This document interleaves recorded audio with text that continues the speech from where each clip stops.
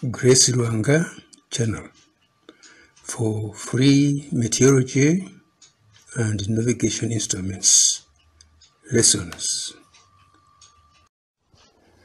Welcome, my esteemed viewers. Welcome to lesson 5 of Airplane Navigation Instruments, a program run by Grace Lwanga YouTube channel.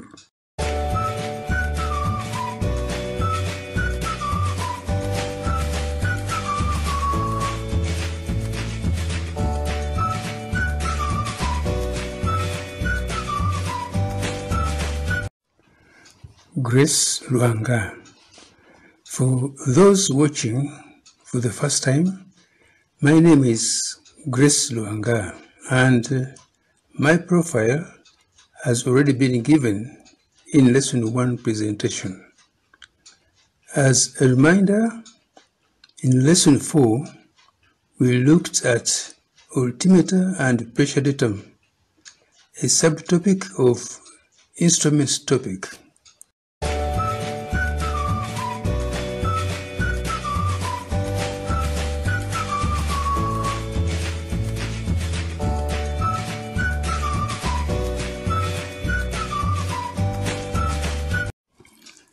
Airspeed indicator and design. I am delighted, therefore, to discuss with you today another topic from the same subtopic. Our topic today is called airspeed indicator and design. By design, I don't mean a fashion design, but I refer to the internal mechanism used by the airspeed indicator to detect and process the input data. The airspeed indicator, or ASI, can be thought of as an airtight box, or instrument case, into which the static air pressure is fed. Diagrammatically, the instrument is shown here and on our diagram we will call the static pressure S. Inside the instrument case is a thin-walled metal capsule, which is capable of expansion and contraction. Pitot pressure is fed into this capsule, and we can see this capsule represented here in blue. We will call the pitot pressure dy plus S. The pressure inside the metal capsule will therefore consist of static pressure plus dynamic pressure, whereas the pressure inside the instrument case will consist only of static pressure.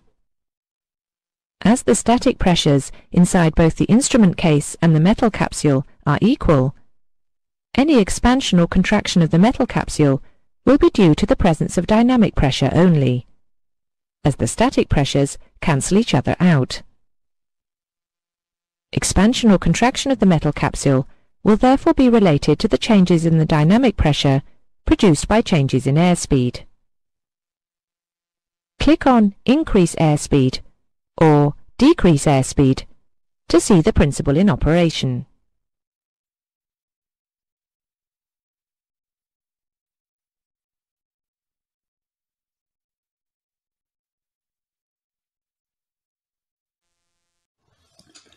Introduction Airspeed indicator design is one of the most ingenious sub-items in the airspeed indicator item because this little instrument took more than 50 years for the pioneers to airworthy accomplish it.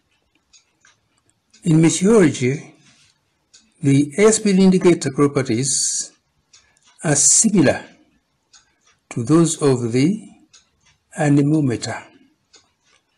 Therefore, I believe that this lesson 5 will be beneficial to all of us.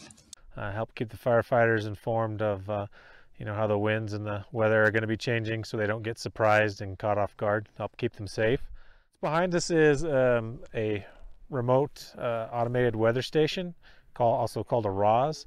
Uh, we use these to get uh, current weather conditions on, uh, on a fire.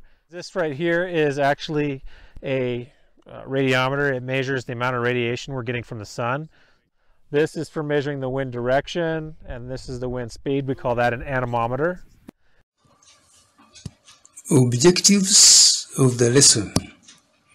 By the end of the lesson 5, the viewer will be able to explain the following ASI terms by meteorological examples where possible. Indicated airspeed, IAS, true airspeed, TAS, calibrated airspeed, CAS, low true airspeed, high true air, airspeed, equivalent airspeed, EAS, rectified airspeed, RAS, blockage error, compressibility error, instrument error, pressure or position error, maneuver-induced error, dynamic pressure, pitot pressure, static pressure, and pioneers of the airspeed indicator and design science. Definitions. We will begin by defining dynamic pressure, pitot pressure, and static pressure. Details of the definitions. The difference between the static pressure and the pitot pressure is the kinetic energy called dynamic pressure. In meteorology, static pressure is called potential energy. The ASI principle, therefore, is a finite integral of the dynamic pressure between the limits pitot pressure and static pressure. Well, first of all, let's see how the airspeed indicator works from the inside out and name its parts. Starting from the outside, the airspeed indicator is connected to the pitot tube and drain hole, which feed impact air to the diaphragm, and to the static port, which feeds the outside pressure to the chamber of the instrument. We will see later in detail why it is important to do this. The diaphragm, in turn, is connected through levers to the sector, which is connected to the hand shaft pinion. Applications of the airspeed indicator. The airspeed indicator, ASI, is accurate for aircraft speeds equal to or less than 300 knots. In this speed range, called the low TAS, the atmosphere is treated like an incompressible medium. Above the 300 knots range, called the high TAS, the Mach meter is instead used for measuring the aircraft speed. In order to do this, a Mach meter has a slightly modified design compared to ASI. The purpose of the Mach meter is to display the aircraft's true airspeed, or TAS, as a proportion or ratio of the local speed of sound. So let us now look at the Mach meter, starting with the principle of its operation. Although we know that the local speed of sound depends on temperature, it can also be shown mathematically that the Mach number is derived from dynamic pressure divided by static pressure. So the Mach meter is required to sense dynamic pressure and also static pressure. If we look at the cutaway illustration of a Mach meter, we can see how this is achieved. Static pressure is fed into the instrument case while an airspeed capsule inside the instrument case is fed with pitot pressure. Expansion or contraction of the airspeed capsule will therefore give us dynamic pressure and movement of the airspeed capsule is transmitted via the airspeed link and the main shaft to move the ratio arm in the direction AB. An altitude capsule is also incorporated within the instrument case. This is a sealed capsule which will expand or contract as the static pressure inside the instrument case changes. Movement of the altitude capsule will move the ratio arm in the direction of CD. A spring-loaded ranging arm transmits the movement of the ratio arm to the pointer mechanism. We can see, therefore, that movement of the pointer results from the interrelationship of the pressures sensed by both the airspeed capsule and the altitude capsule. And we can see that the sequence of the linkage movement is that the ratio arm moves the ranging arm, which in turn moves the pointer on the dial. Blockage error. The ASI suffers several errors. The most significant one is the blockage error. Knowing and understanding how an airspeed indicator reads during a blockage is critical for safety. Since the ASI principle is a finite integral of the dynamic pressure between the limits pitot pressure and static pressure, blockage error can be explained as follows. When pitot gets blocked, ASI underreads.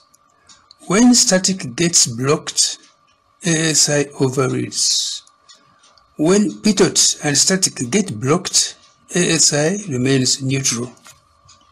It all began on May the 31st, 2009. Shortly after 2200 hours UTC, Universal Time, the time standard used in aviation, Air France Flight 447 took off from Rio de Janeiro, heading for Paris Charles de Gaulle Airport. It was an Airbus A330 200 series, carrying 228 people, or souls, as they say in the industry, 216 passengers, 12 crew members. Four hours into its 11 hour journey, things started to go wrong. At 0200, the plane entered a thunderstorm with strong turbulence, and the pilots made a short course correction to avoid the bad weather. Then a problem with the plane's pitot tubes, the small probes that are used to measure the speed of the aeroplane. It's believed they got clogged with supercooled ice. The speed sensors iced over. In the cockpit, the computers behaved as they were supposed to. The autopilot disengaged. The plane's co pilot, who was the pilot flying, reacted by pulling back on the side stick and the plane started to climb. Within a minute, the plane had climbed to 38,000 feet and was outside its certified parameters. There was a stall warning as the plane's airspeed dropped dramatically, and the plane fell out of the sky, falling at nearly 11,000 feet a minute.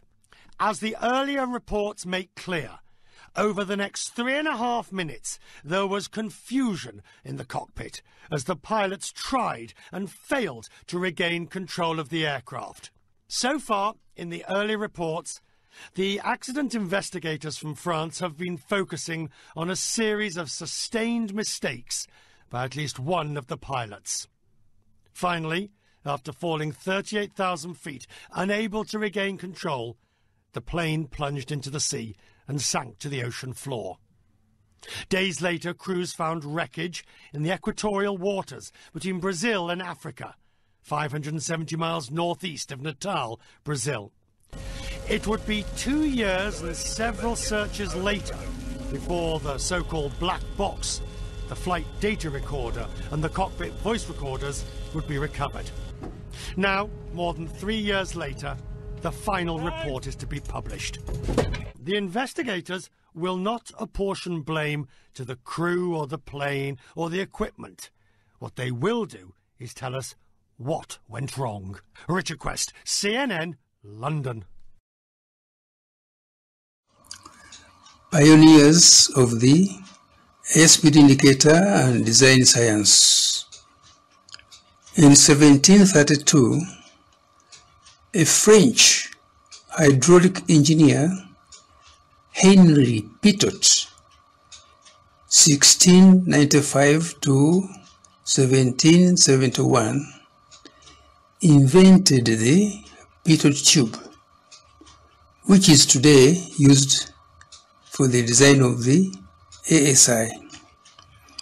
In the mid 19th century, a French scientist, Henry Darcy, 1803 to 1858, modified the Pitot tube to its modern form.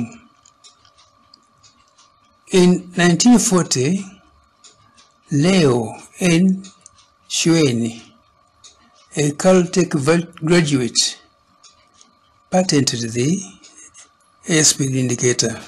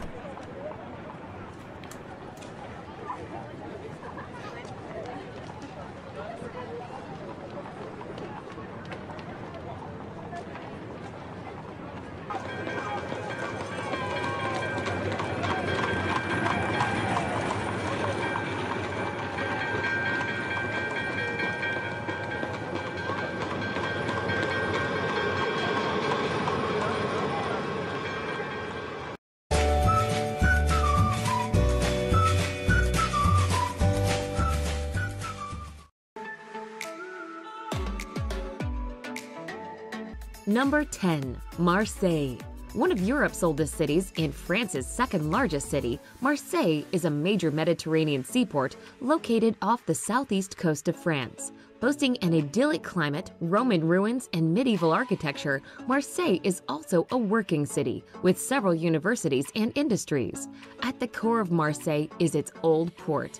Dominated by two historic forts, this bustling harbor is lined with waterfront cafes, shops, and bars. One of Marseille's best natural attractions, the Calanque, are a series of small inlets with astonishing blue water and majestic limestone cliffs. Number 9. Lyon.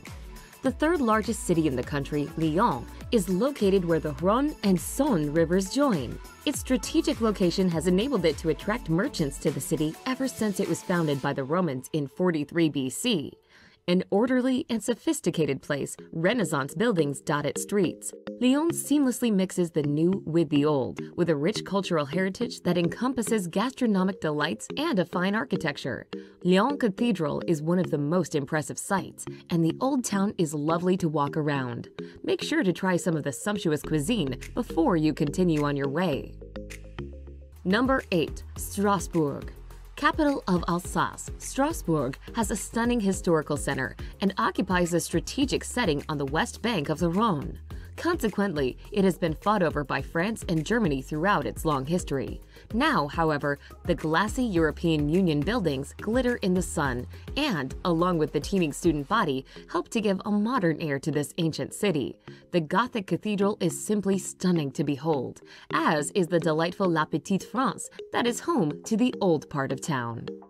Number 7. Loire Valley. About a two hours drive south of Paris, the Loire Valley is a region regarded for its spectacular scenery, picturesque vineyards, and historic villages. The valley's biggest attraction is its large number of chateaux scattered throughout the rolling green hills. Ranging from grand country manors to defense fortresses and luxurious palaces, these chateaux were built by French nobility. The valley is also home to many wineries that offer tours and wine tastings. Number 6. Bordeaux. Straddling the banks of the Garonne River, Bordeaux is a large city with a lot to offer.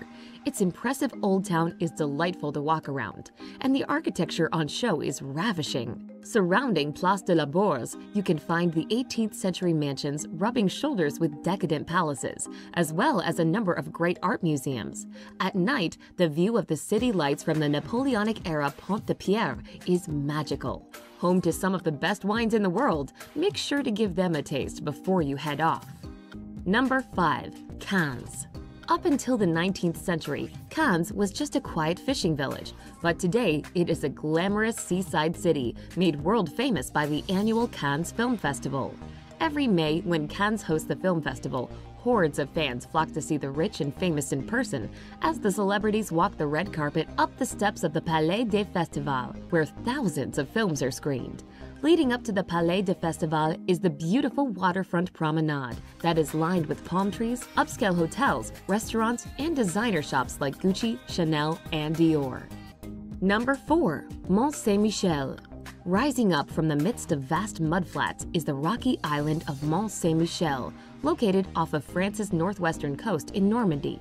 The medieval structures on the island are built as if stacked upon one another and crowned with the star attraction, the Abbey of Mont Saint Michel.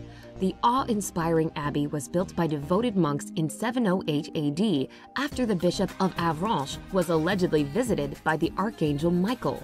The bay around Mont Saint Michel is famed for having Europe's highest tidal variations. Number 3. Dordogne. Unless you have weeks or months to spend in the scenic Dordogne region of southwestern France, you're going to pick and choose the things you want to see. There is just so much to see and do here, beginning with picture postcard villages and chateaux, including the well preserved Chateau de Beynac, a hilltop castle. The scenery is pretty awesome too, with the Dordogne River running through it. The Dordogne also has some of the best prehistoric cave art in France. Number 2. Nice. Located on the French Riviera, Nice is constantly bathed in sunshine. As the fifth largest city in France, it has a vibrant mix of cultures. During the day, travelers can enjoy a stroll through its historic center or find a place along Nice's pebbly beaches to take in the beauty of the Mediterranean Sea. Walking along the famous Promenade des Anglais and gazing out over the turquoise waters is simply heavenly. A charming place to spend some time, Nice has something for everyone, as it combines city life with a beautiful setting. Number 1. Paris. Attracting more than 45 million visitors annually, Paris is the world's most popular tourist destination. Situated on the banks of La Seine, the elegant and stylish capital of France is a romantic place with lovely boulevards, beautiful buildings, and sights like the Eiffel Tower and the Notre Dame Cathedral rising towards the heavens. From the stunning art collections at the Louvre to the eerie catacombs beneath the streets and the breathtaking Notre Dame Cathedral, you could spend a lifetime getting to know all of Paris's wonderful sights. Time. Viewers, because of time, the general indicator and design theory cannot be fully covered here, but it is available in a book Meteorology for Airplane Navigation Instruments by Grace Lwanga.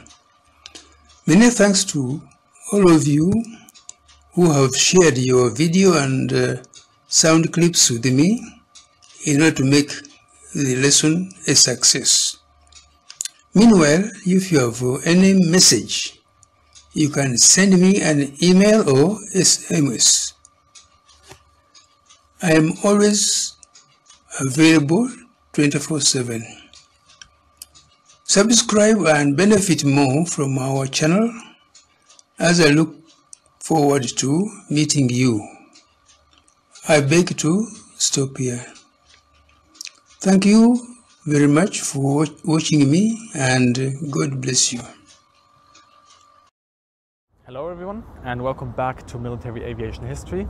I'm standing in front of a MiG-21. This is a Soviet uh, jet fighter from the Cold War era.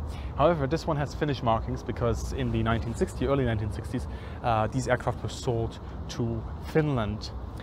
Now the question I often get with this aircraft is what is that enormous lance kind uh, looking device up front? Uh, this is a pitot and it essentially allows the pilot to read the aircraft speed. So the pitot, like I call it for some reason. Now there are different models of pitot tubes for different... But the question is, why is it so far out? And why do you see this in quite a few jets that have these pitots that are just enormous? Uh, this is because at the speed that these guys are going, you really need to have uh, the, the pitot as far away from uh, the actual aircraft fuselage. What happens if you if you're going subsonic, yeah, is you build up a pressure field that is around and especially in front of your aircraft. And this pressure field causes all kind of problems to accurate speed reading, especially at high angles of attack and with aircraft that have a high wing loading. And yes, the MiG-21 has a high wing loading. Um, with the pitot having to go into, a, into the flow direction, you can see how how um, that is a problem, especially the closer it is to the uh, aircraft, the higher the angle of attack, the more oblique the angle will be. So with a long pitot, you can get around this because it, re it reaches relatively far outside this kind of pressure field that is being built up. And this allows the pilot to get a more accurate speed reading and also um, that the aircraft has to get less compensation factors, in has to take less compensation factors into account. So there you go. That's why you sometimes see this kind of lance-looking device on uh, fighter jets. And I hope you guys learned something um, here. This aircraft, you can visit it at the Finnish Aviation Museum. Uh, thanks very much for them for letting me film this and a couple of other episodes. Uh, if you enjoy this kind of content, please consider supporting it so I can make more of this, uh, this kind of stuff. Uh, you find all the links in the description below to my Patreon for that. Um, anyway, I will leave you with a nice little look of a Finnish MiG-21. It's quite a late war. Oh, one, one more thing I want to tell you guys. When the MiG-21 started out, the lance was below the engine coming out on the bottom and then they moved it up top in one in the later models. Anyway, it's just a little bit of trivia for you. So yeah, as always guys, have a great day, good hunting and see you in the sky.